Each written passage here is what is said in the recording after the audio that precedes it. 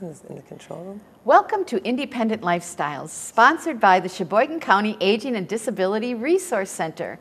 We present programs that promote independent lifestyles and that direct you to the resources that will help you maintain your health and independence in our community.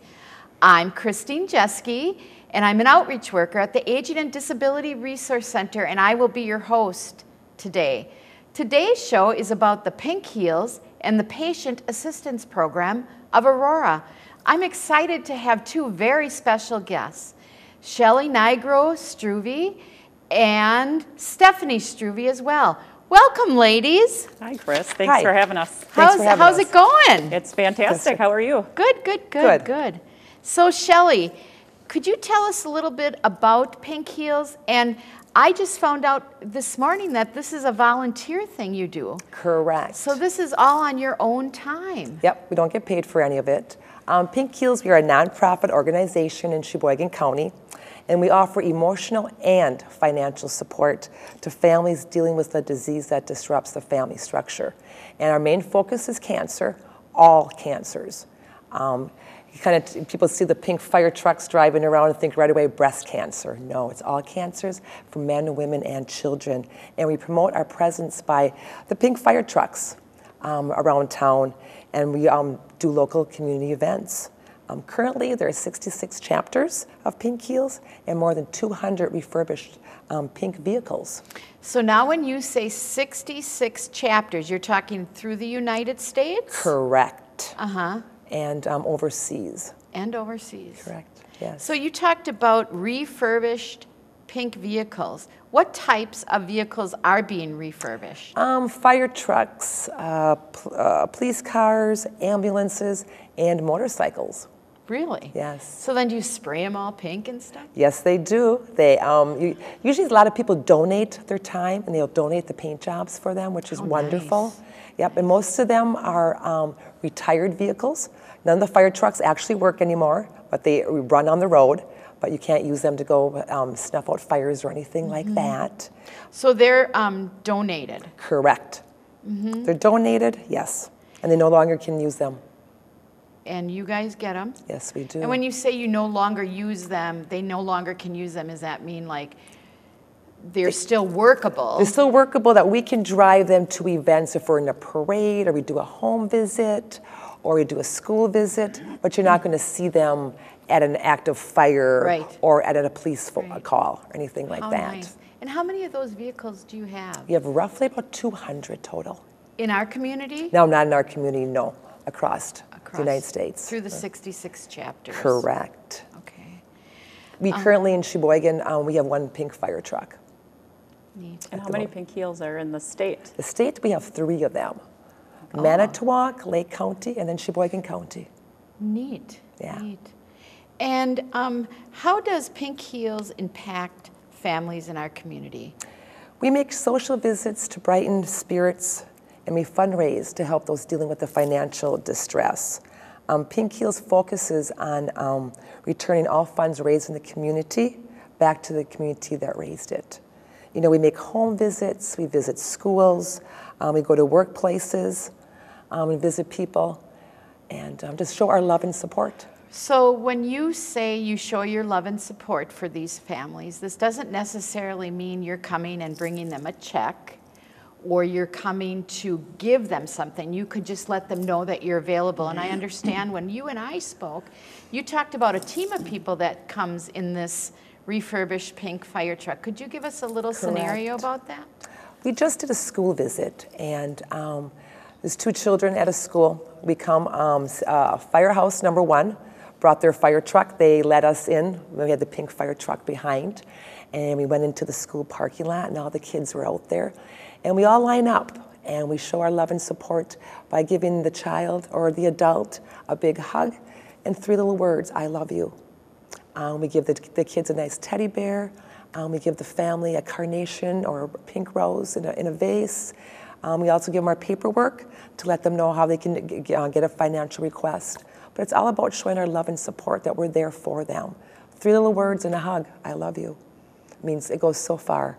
I don't think we do enough of that nowadays. Well, we don't, and we No. need more of it. Yes, we do. Yes, we do. do. And the response from the families when you come? Oh my gosh, tears flowing. Everyone, everyone's got the, the crying. You know, it doesn't take much for me to cry. I, I'm, I'm crying in the fire truck as we're getting there, for Pete's sakes. But it's just, it's just showing that that someone out there else cares, that we are there for them. Whatever they need, we are there. That So little- having them come, having you go there, you let them know, and then at some point, can they call you? absolutely. So you want them to know that we're here to support you. Right, and that's in our paperwork that we hand out. Um, it's got our phone numbers on it, um, how they can get financial support, how they can um, get some bills paid if they need it. We also give our pamphlets out and let them know where we have email, we have um, Facebook. Okay. And how do you raise money to help support your mission? Um, by selling our Pink Heels merchandise, such as t-shirts, sweatshirts, can koozies, water bottles, and other various items in the community, um, promoting our organization. So now you spoke to us about you promote on Facebook. correct email. We have a website, but the biggest um, promoter is word of mouth. Isn't that amazing? Yes, how people have seen us, or they look at us. I went. I, I wear my T-shirt um, at school sometimes. They're like, "You're the lady with the pink fire truck, right?" I said, "Yes, I am," and they'll want to know more about it. You know, so they equate that. I, I remember you. Yep, yep, that would be me. So our Facebook page is wonderful. If people would like to go on our Facebook page, like us, and they'll really see what we do, the visits that we do, the home visits, the school visits, and then go on the national page. Um, it would be um, Pink Heels National Tour, and you'll see them touring the United States and talking about the love and support and what we actually do, and the home visits, the school visits, visiting people at their workplace, and just seeing all the firefighters and the volunteers walking in giving that person a big hug and three words, I love you. It's just amazing. And I, I can imagine sometimes that's very overwhelming for Yes, people because a lot of people don't show emotion. I mean, it's easy for me to hug anybody. Correct. You know, and tell everybody, you know, tell my friends I love them or but a lot of people are real kind of standoffish. And how does that affect? I mean, by the time you're done with them, do you Mm-hmm. think they're more comfortable? Absolutely. I think they really see that we are genuine and that we mean that. You know, when they see us all lined up and they're in their pink turnout gear, and then we have the firefighters from the um, stations or EMS, and they're standing in line, and it touches them too to really see. It's like, wow, look at the impact you made on that person. And that person, when you're coming down the street and those fire engine lights are, are going and the horns are going and you're beeping, it's just amazing. Here we I get come. chills. Yeah. Yep. Yeah. Very rewarding. It's very rewarding. Yeah. And um, Stephanie, can you tell us a little about a little bit about Hmm. your role? Yes. Um, again, my name is Stephanie, and thanks for having me on today, Chris. I am actually a social worker with Aurora Healthcare. Um, I've worked as a social worker for about the last 15 years, all with Aurora. Specifically, the last 12 years, I've worked in a department called Patient Assistance. Very interesting. And um, I got to be part of a patient assistant program when I got to, they wanted me to come into their family and see how it all went. And I was actually so impressed on how that was all handled. So, with that said, can you tell us a little bit more about that patient assistant? Sure. Patient assistance mm. is really just a small department within Aurora. It's made up of myself and a registered nurse, Sue Fryer. And what we try to do is work with Aurora patients to navigate their community resources to help them address concerns they may be having. A lot of times we're working with patients who are struggling with chronic medical conditions or are experiencing acute distress. Mm-hmm. And the team of people, like when they meet for the first time, you have a doctor there, you have a social worker there. Can you tell us more? So that, that can be part of our family conference program that's offered through the Vince Lombardi Clinic. Um, we often identify patients who may be struggling um, with their cancer diagnosis or could benefit from a team approach to help them meet their needs. So frequently, our family conferences consist of our medical oncologist, uh, a registered nurse navigator, and then myself. Um, oftentimes, they'll pull in an occupational therapist too to help address uh, home safety or management concerns. Now, you've been with Aurora for 15 years? Yes, 15 years. So you've seen a lot. I have, and? I've, I've met a lot of great patients and families. Um, it's always interesting to sit down and hear people's stories, um, their concerns, their fears. You know, I learn right along with them. Um, I can never fully understand what they're going through until you're in that situation.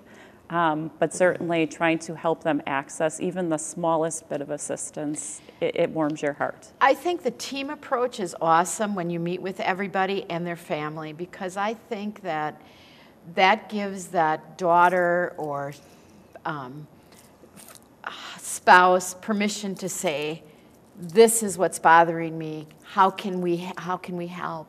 I mean, that has to be very beneficial for everybody. Am I correct? Oh, absolutely. And it, it helps to increase the lines of communication between the healthcare team um, with the family and even among the family themselves because the patient may be experiencing something that they didn't feel comfortable talking about with their family. Um, and that provides the opportunity um, in a safe space to, to discuss their concerns. So, what do you navigate the people, the families with? So, can you tell us a little bit about the navigation part of it? Well, what we try to do is sit down and complete a thorough assessment with each patient. And we want to know about their health conditions, how they're coping with those conditions, um, if they're experiencing financial or practical concerns. And what we try to do then is identify what's available right here in our community that can help them address those concerns and alleviate the distress that they might be having. Mm-hmm. You know, oftentimes, again, it, it uh, introduces me to new services that have come about in the community and that I wasn't even aware of. Mm-hmm. And of course, helps me network with people from all different types of agencies. Right, mm-hmm. right. And you two have an interesting history together, right? We, oh, we have we an interesting do. history. Not only are you, you work together in the community, you're also related, correct? We Correct. are. We are cousin-in-laws, Cousin- actually. Nice. yes. So um, that was pretty instrumental. That uh, personal relationship was pretty instrumental in educating me about pink heels when it Correct. started in Sheboygan County. I think it was a couple years ago already. Two and a half. Yeah, because I became involved with Pink Heels after my husband passed of cancer two and a half years ago. Then I found out about the organization, and um, my husband's name is on the is on the truck. It bears his name. That's the first time I found out about that. That the county had this program going on to help people with, with financial support and emotional support. And then with Stephanie's role, it kind of went hand in hand. And she's like, oh, dealing with, with patients from Aurora. And it just evolved from there. Well, and it helps that you guys know each other, you ladies know each other. It does. It probably made me more aware of pink heels much Right. sooner than I might have otherwise stumbled upon it by myself. Right. You know, certainly you try to keep your educa- yourself educated about what is available in our community. Um, but because of the personal or side relationship, becoming aware of it much sooner certainly helped to educate me and pass that on to the Aurora patients that we work with. Right. So it's a Yeah. win-win. So if you are stuck at something, you can then call Shelly, and if Shelly needs something, she can then call you. That's correct. And if Chris correct. Jeske needs something, she can then call you guys. Yes, and that's Because we all work Absolutely. Yeah. together. I mean, Yes. really. That's the best part of the, the job is trying to educate individuals about the different services that are, that are available to them. And it, it connects us with people from the Sheboygan County Yeah. Health and Human Services, Aging and Disability Resource Center, you know, outside agencies Yep. like Pink Heels. And there's so many people still don't know about, you know, about us. And we are fairly new. It's been around for 10 years. Um, Dave Graybill started it in Arizona. He's a retired um, firefighter, and he started this program. And um, our president of the chapter, Tara um, Albright, uh, wanted to make a difference. Her husband is John is a firefighter for um, Sheboygan Falls Fire Department, and she went and she heard about that about this organization and wanted to bring it here. And Manitowoc had theirs already started, so she wanted to start a chapter in Sheboygan County. And then they had to go about trying to find a fire truck, and um, Highland, Illinois was, give, was um, retiring a fire truck. So that's how we got our fire truck. Someone donated the paint job. So it all kind of evolved around. And, and that was the, I we never heard about it. Before, I never heard about Pink Heels either. And then some of it, they were on Facebook, and they were trying to name the truck. So Ty had already passed, my husband had already passed, and everyone, all his friends were, let's, let's name the truck Ty. So they were putting his name in, other people were putting in this other lady's name, Dawn, in. And all of a sudden, they came back and said, we're going to name it Dawn Ty. Wonderful. So, they, so Pink Heels got a hold of me and said, we'd like you to like, christen the truck, write his name on there. And um, so I had to, you know, in, investigate a little bit more about this and find out more about, you know, the truck and this organization. And basically, they figured, okay, she's going to come, sign his name, be done, never come back again. Hmm, I fooled them.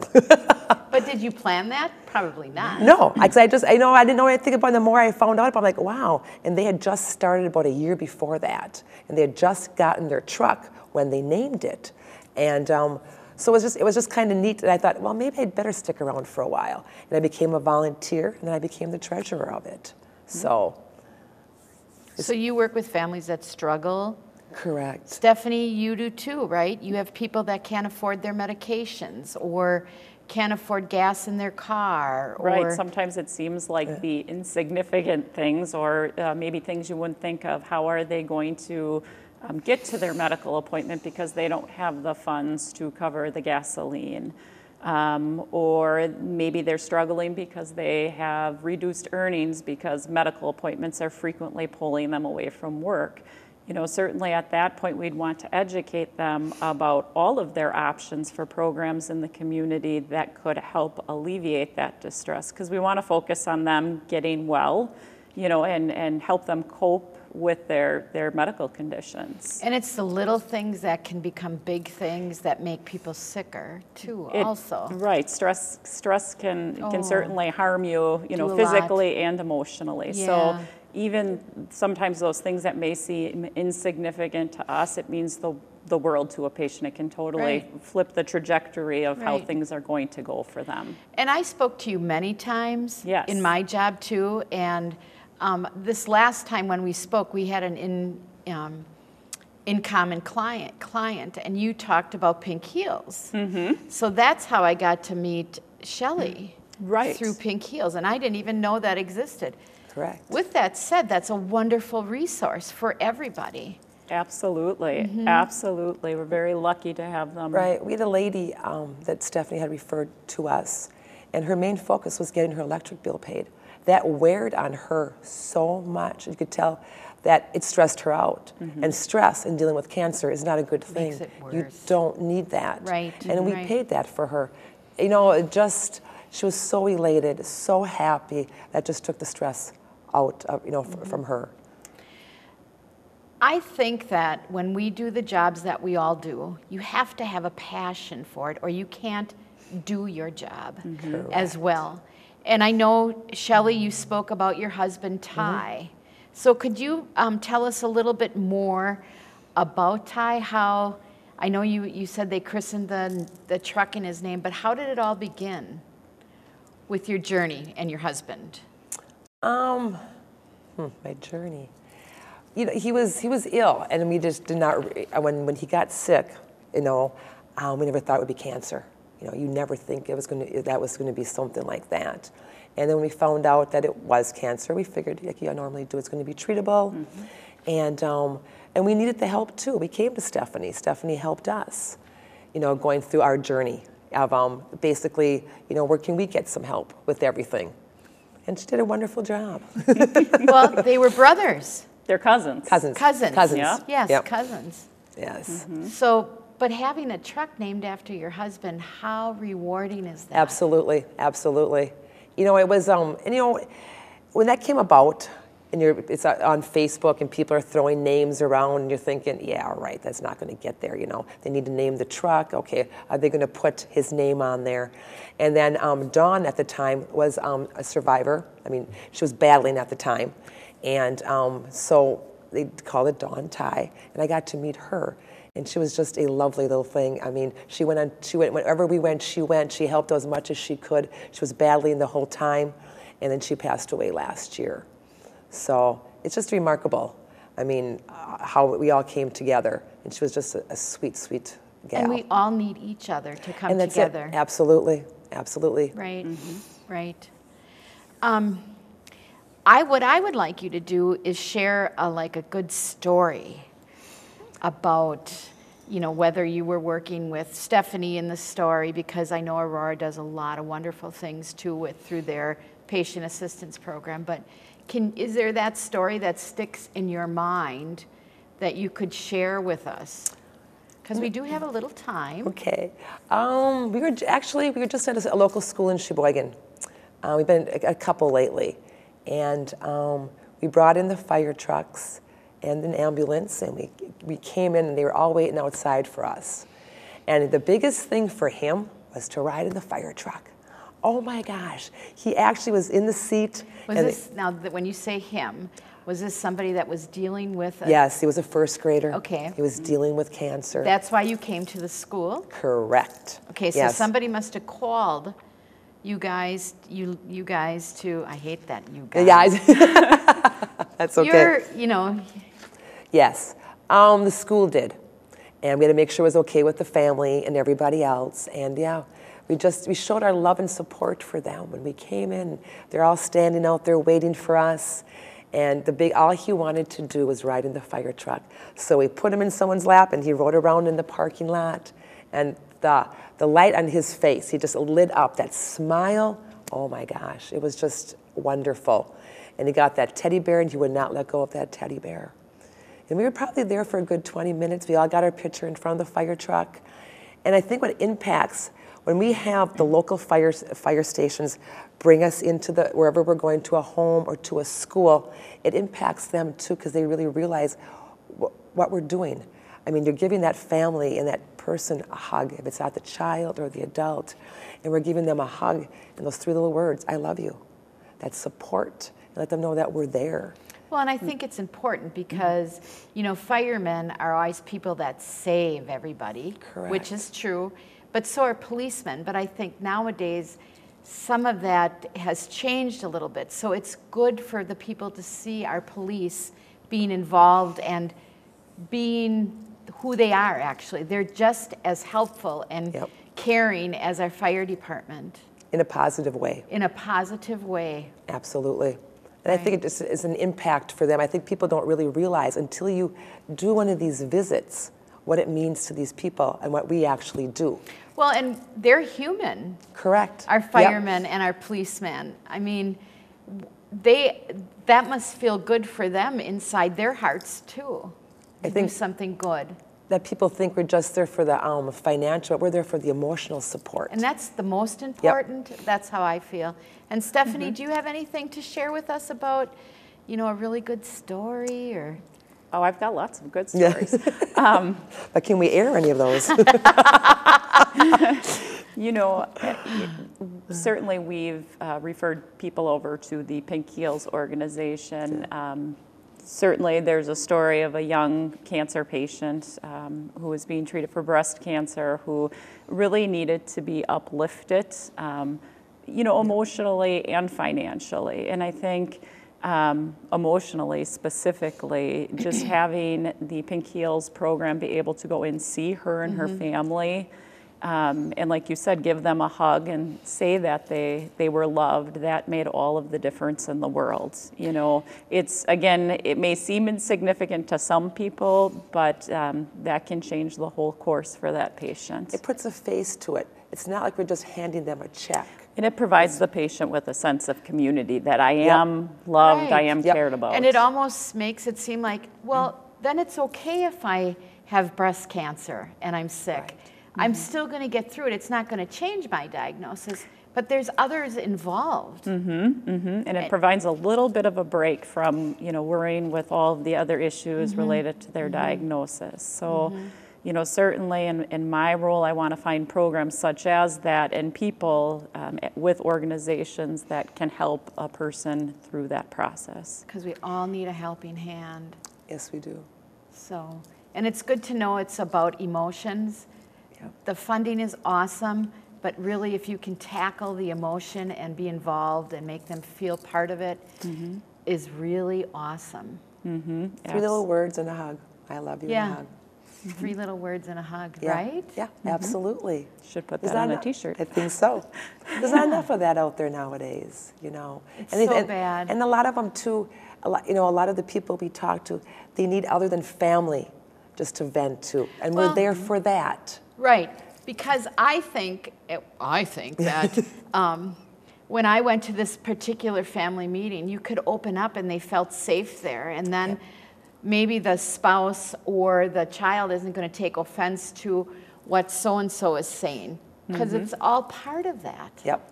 And they need to talk to somebody else or, you know, their family members, not that they're getting sick of listening to them, but they get sick of maybe venting to them. And then we're somebody else they can talk to.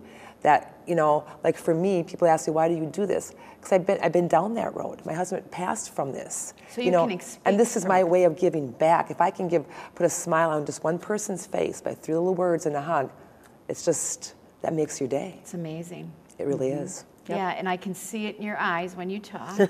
Because I'm going to cry. Stephanie, too, I can see it in your eyes as well.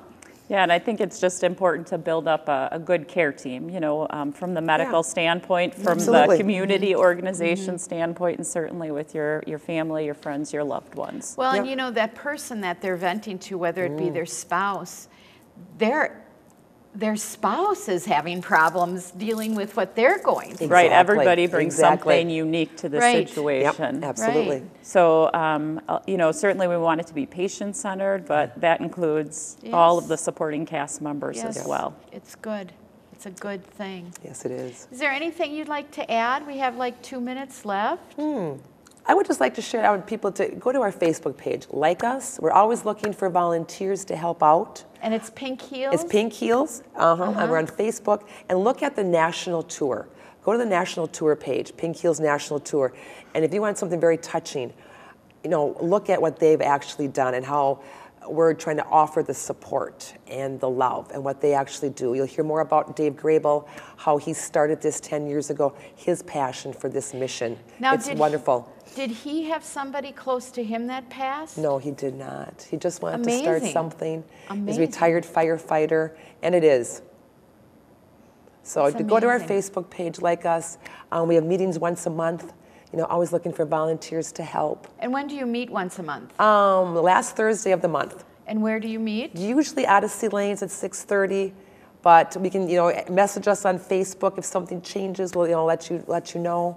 And how many people do you have that come to these meetings? Uh, right now, we're probably roughly about 12 to 15 Nice. volunteers. That includes the officers and the board members. Nice. Yeah, always looking for more people to help, just to give a little bit more love and support. So again, could you just say it one more time? You meet at Odyssey Lanes. It's the fourth Fourth Thursday. Thursday from 6:30 to. It's usually about an hour, hour and a half Uh-huh. at the most. Uh huh. Yes. Does Stephanie go? No, Stephanie does not go. You're busy with your family. Yeah, sure. Yeah. yeah. Well. well Yep, good. I, I do appreciate having them as an option Good. for our patients. Well, I would like to thank Shelley and Stephanie for joining us today and informing us about Pink Heels. To our audience, thank you for turning into an independent lifestyles. Please join us next month for another interesting topic on maintaining your health and independence. Independent Lifestyles is sponsored by Sheboygan County Aging and Disability Resource Center and is shown on Spectrum Channel 990, UVerse Channel 99, and WSCSSheboygan.com on Mondays at 2.30 p.m., Wednesdays at 7 p.m., and Thursdays at 9.30 a.m. See you next month.